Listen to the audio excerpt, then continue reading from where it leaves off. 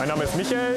Ich arbeite seit 2007 bei der Firma Spalleck als Erspannungsmechaniker und stehe an der neuen Demo 75 mit einem 18-fach Palettensystem.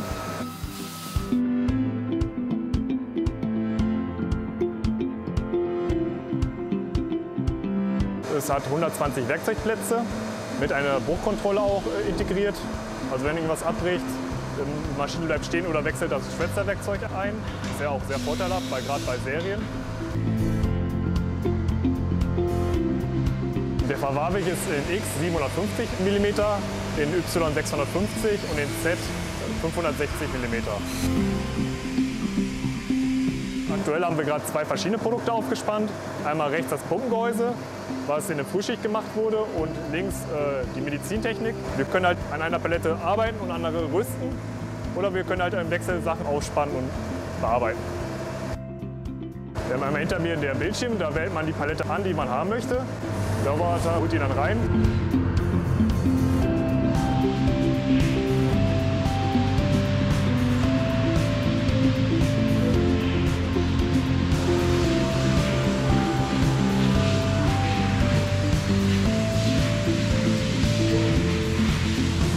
Der Roboter wechselt dann automatisch, wenn das Produkt fertig ist, die Palette aus und holt sich die nächste Palette rein.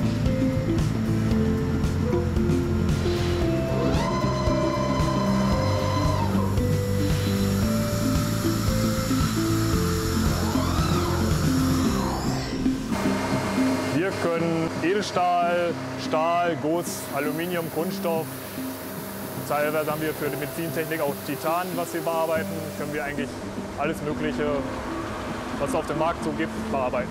Die Vorteile für den Kunden ist, äh, dass wir die Rüstzeiten optimieren, da wir die äh, Vorrichtung äh, aufgespannt lassen in dem Palettensystem. Und wenn der Kunde Neuteile bestellt, können wir direkt wieder einwechseln und direkt starten. Momentan ist die Maschine auch relativ neu und ist generell für die Mitarbeiter noch etwas Neuland. Aber wir werden geschult und wir probieren auch vieles selber aus. Und macht schon Spaß, wenn man nicht mehr jedes Mal den Schraubstock mal runter bauen muss oder aufbauen muss, sondern einfach die Palette einwechselt und innerhalb von einer Minute den Schraubstock schon fertig drauf hat und Teil einfach nur einspannen muss und abnullen und starten kann.